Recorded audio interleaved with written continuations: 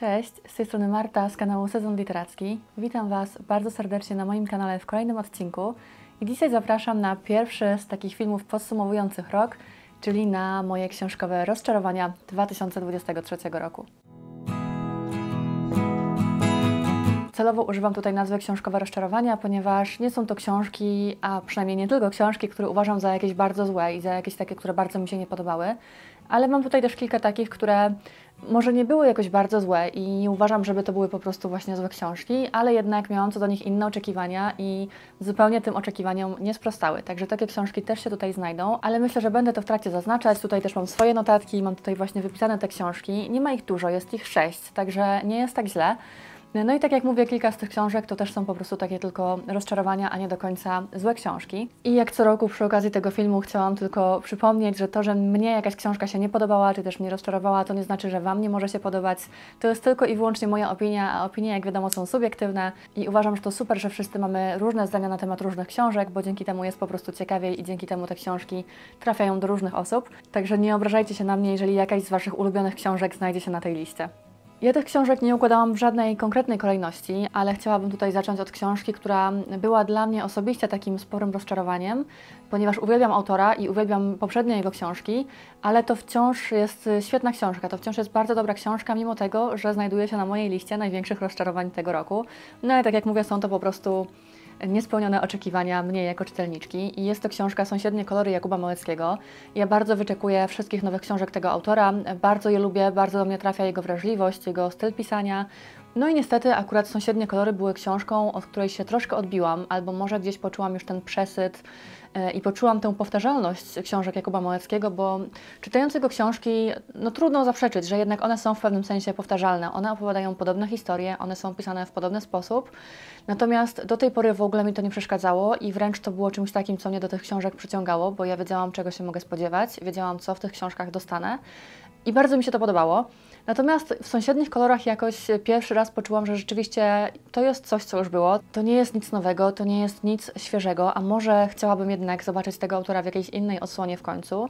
Ale też same historie tutaj mm, do mnie zupełnie nie trafiły i po prostu nie zżyłam się z tymi bohaterami aż tak, jak w poprzednich książkach Kuby Maleckiego. Także no niestety sąsiednie kolory to było moje spore rozczarowanie tego roku, bo tak jak mówię, to jest autor, na którego książki zawsze bardzo czekam. No i tym razem niestety nie zachwyciłam się tak, jak zwykle to ma miejsce, ale wciąż Y, uważam, że to jest dobra książka i na pewno jest najlepszą z tych wszystkich książek, które tutaj w tym filmie zobaczycie. Także chcę to podkreślić jeszcze raz, żeby to wybrzmiało bardzo mocno. To jest dobra książka, po prostu nie spełniła moich być może zbyt wygórowanych oczekiwań, które wobec niej miałam. Druga książka, która też nie była jakoś bardzo zła, ale jest jednak dla mnie dosyć sporym rozczarowaniem. Nie mam jej fizycznie, ponieważ czytałam ją na Legimi, z tego co pamiętam. Są to lekcje chemii Boni Garmus. Tutaj gdzieś obok mnie pewnie teraz wyświetla się okładka. To jest książka, o której słyszałam mnóstwo dobrego, wiele osób się nią zachwycało. Miała to być wspaniała feministyczna proza. I to jest książka, która opowiada o kobiecie naukowczyni w latach 50. czy 60. E, i o tym, jakie ona trudności napotyka e, właśnie z uwagi na to, że jest kobietą w tym świecie naukowym. No i ja rozumiem zamysł i to jest naprawdę super, że się o tym mówi już tak dużo, natomiast ta książka jest po prostu według mnie bardzo prosta i te wszystkie feministyczne postawy i te wszystkie ważne kwestie, które chcę poruszyć, są takie bardzo oczywiste dla czasów, w których ta książka się rozgrywa. To znaczy każdy wątek, o którym moglibyście pomyśleć, jeżeli powiem Wam hasło naukowczyni w latach 50., tutaj się pojawia. To znaczy mamy tak, po pierwsze e, fakt, że jest niedoceniana jako naukowczyni, mimo że ma wybitne osiągnięcia. Po drugie to, że jej osiągnięcia przypisywane są mężczyzną. Po trzecie to, że spotyka się z ogromnym seksizmem, a wręcz też z napastowaniem seksualnym na uniwersytecie, na którym pracuje, czy też się uczy. E, po czwarte to, że mm, kiedy spotyka się z jakimś tam partnerem, czy też y, planuje wyjście za mąż, wszystkie jej zasługi przypisywane są jej mężowi, no bo oczywiście kobieta nie mogła czegoś takiego wymyślić. Także to wszystko tu jest i to wszystko jest podane w taki bardzo oczywisty, oklepany sposób. To jest nam dosłownie podane na tacy. Tutaj nie ma żadnego miejsca na jakieś interpretacje, na jakieś domysły, na jakieś y, własne refleksje czy przemyślenia na temat tej historii, bo po prostu wszystko jest bardzo prosto y, wyłożone i to też jest taki bardzo prosty, przyjemny, ale prosty język. No nie ma w tej książce zupełnie nic skomplikowanego, więc oczywiście ona może być dobra na początek jakiejś takiej przygody z literaturą feministyczną, czy dla kogoś, kto jeszcze w tym temacie nie jest może jakoś bardzo zaznajomiony i dla niego takie rzeczy jak właśnie taki seksizm na uczelni są czymś zaskakującym i jakąś nowością. Natomiast no, Wydaje mi się, że jednak od takiej prozy feministycznej oczekiwałoby się już w tym momencie czegoś więcej. I ta książka według mnie po prostu była zbyt, zbyt prosta i zbyt dosłowna w tym wszystkim, co chciała przedstawić. I to nie jest już coś, czego ja szukam w literaturze. Oczywiście nie mówię, że to źle, że takie książki powstają, ale jednak nie jest to książka już dla mnie. Ja w tym momencie szukam jednak już czegoś trochę więcej i czegoś może troszkę bardziej zawiłego i skomplikowanego, a tego tutaj nie dostałam. Kolejna książka, której również nie mam przy sobie, ponieważ też y, czytałam ją na Legimi, a właściwie to był chyba audiobook, którego słuchałam, to jest książka Kobieta z sąsiedztwa Sue Watson. To jest thriller, który opowiada historię nauczycielki, która zaprzyjaźnia się z mieszkającą na tej samej ulicy taką celebrytką w pewnym sensie, to znaczy to jest kobieta, która jest chyba pogodynką, ale ona robi jakąś tam karierę w telewizji, jest dosyć popularna i w związku z tym e, pojawia się pewien stalker, osoba, która śledzi właśnie tę bohaterkę, no i właściwie o to opiera się cała fabuła. Generalnie nie jest to zła książka znowu, e, ona była całkiem wciągająca, tylko problem był taki, że ona od pierwszej strony była totalnie przewidywalna i ja od po prostu pierwszych rozdziałów wiedziałam, jakby miałam w głowie dwa rozwiązania, w kierunku których ta książka może pójść, i oczywiście jedno z nich okazało się słuszne. No i to pozbawiło mnie tego elementu zaskoczenia, którego jednak od thrillera można byłoby oczekiwać. Dlatego uważam, że ta intryga i ta fabuła nie była skonstruowana zbyt, e, zbyt dobrze po prostu. Ona była zbyt oczywista, zbyt przewidywalna, zbyt dużo było wskazówek. E, co do tego właśnie, co się wydarzy. No i niestety, ale, ale z tego względu ta książka znalazła się w tym zestawieniu, że po prostu no, była zbyt przewidywalna jak na thriller, no bo jednak mówimy tutaj o książce, która, której główną zaletą powinno być to, że jest nieprzewidywalna i zaskakująca, a tutaj tak nie było. Kolejna książka to coś, co skończyłam rzutem na taśmę w tym roku, a jest to Babel Rebeki Kwang. I znowu jest to książka, która odbiła się w MOOC Mediach bardzo szerokim echem, bardzo wiele osób ją polecało. Bardzo wiele osób się nią zachwycało, ona zebrała mnóstwo pozytywnych recenzji. W ogóle ta autorka jest bardzo lubiana, mam wrażenie, w bookmediach. Natomiast znowu, dla mnie ta książka była rozczarowaniem pod tym względem. Jak widzicie, większość tutaj jest takich książek. Właściwie chyba tylko ostatnia z nich będzie taką rzeczywiście złą książką, która bardzo mi się nie podobała, a większość to są po prostu jakieś moje niespełnione oczekiwania. No i Babel po prostu nie dostarczył mi tego, czego oczekiwałam, a oczekiwałam tutaj wybitnej powieści na temat e, na temat pracy tłumaczy też w XIX wieku, na temat tego, jak budowano całe Imperium Brytyjskie i jak to było złe. E, I oczywiście to tutaj jest, tylko że to jest tutaj znowu podane w taki strasznie łopatologiczny sposób. Ja strasznie czegoś takiego nie lubię, no bo bez przesady czytelnik też nie jest głupi i też jesteśmy w stanie sami wyciągnąć jakieś wnioski i sami myśleć nad tym, co czytamy. A tutaj znowu autorka nam nie daje takiej możliwości. No i jak widzicie, to jest dość gruba książka. Ona ma 700 chyba 60 czy 80 stron, 760 stron, a właściwie jakakolwiek akcja rozpoczyna się tak mniej więcej, nie wiem, 200-250 stron do końca. E, a wcześniej mamy taki właśnie e, rant autorki na temat tego, jaki kolonializm jest zły. I rozumiem, że trzeba to powiedzieć raz, drugi, żeby to wybrzmiało szczególnie w takiej książce, ale po tych dwóch razach my to już naprawdę wiemy i nie trzeba tego powtarzać przez kolejne 500 stron, a dosłownie tak to tutaj wygląda. I ta cała pierwsza połowa jest.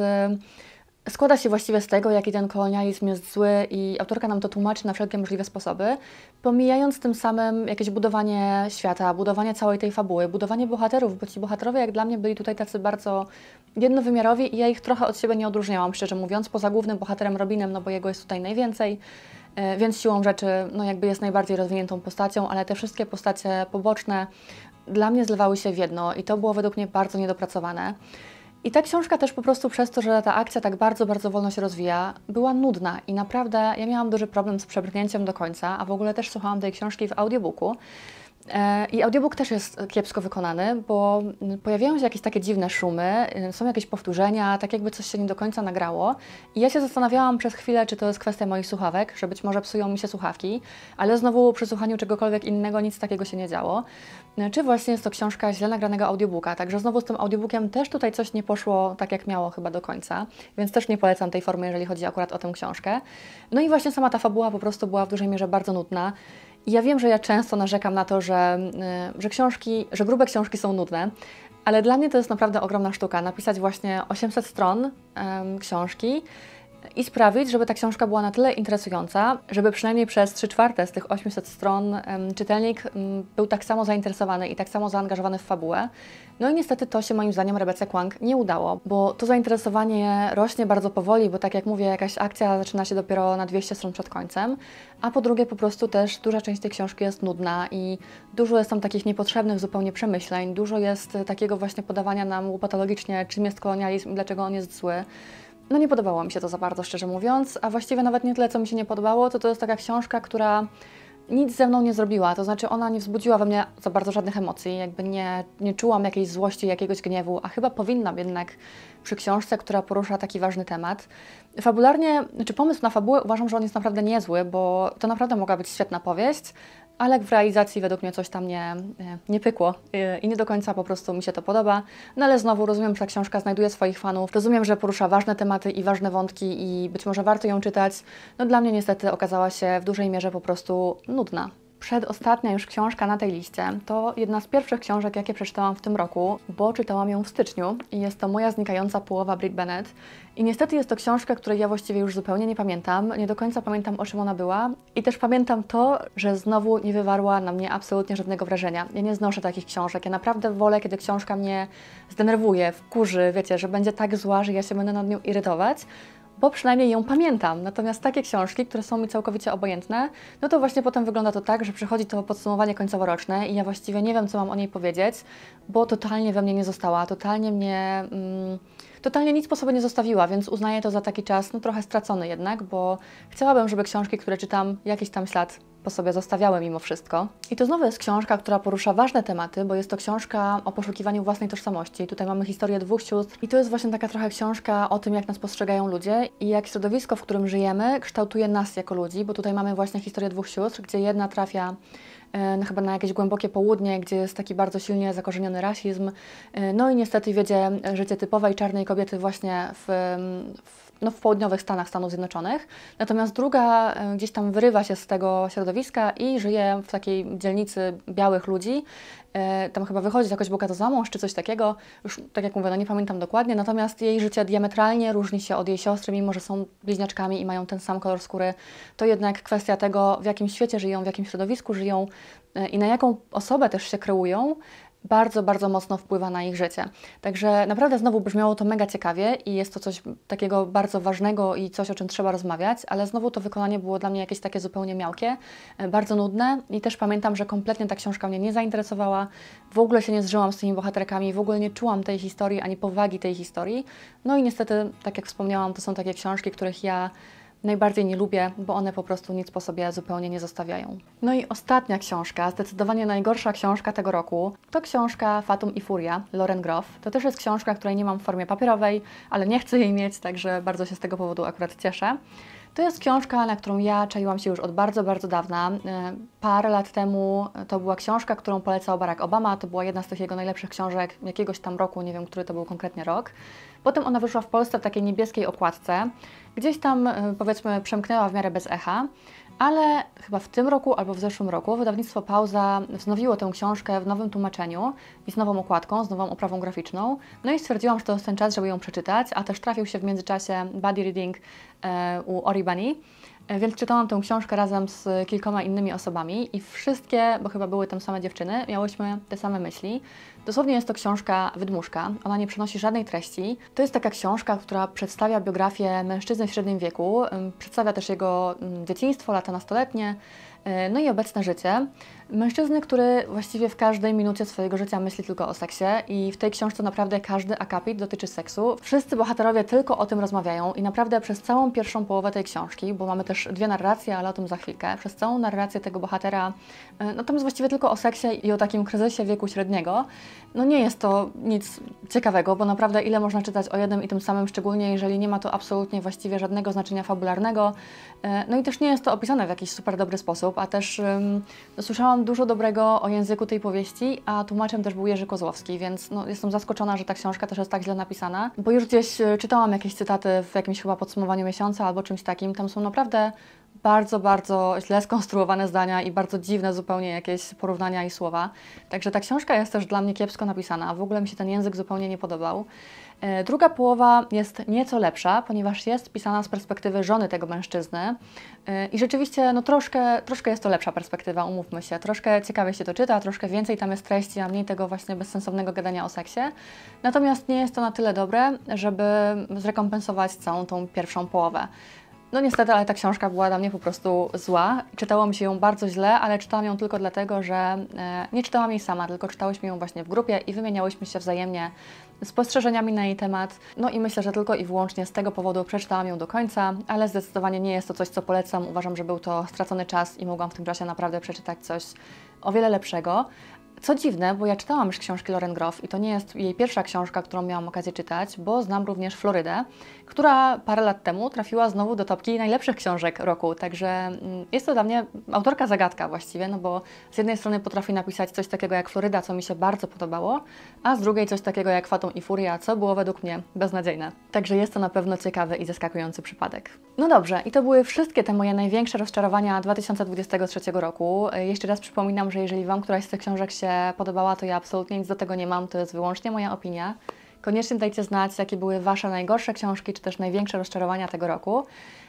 A w kolejnym filmie, żeby już nie było tak negatywnie, porozmawiamy sobie o tych znowu najlepszych książkach. Także już teraz Was zapraszam, a tymczasem dziękuję Wam za obejrzenie tego filmu do końca i do zobaczenia w kolejnym. Cześć!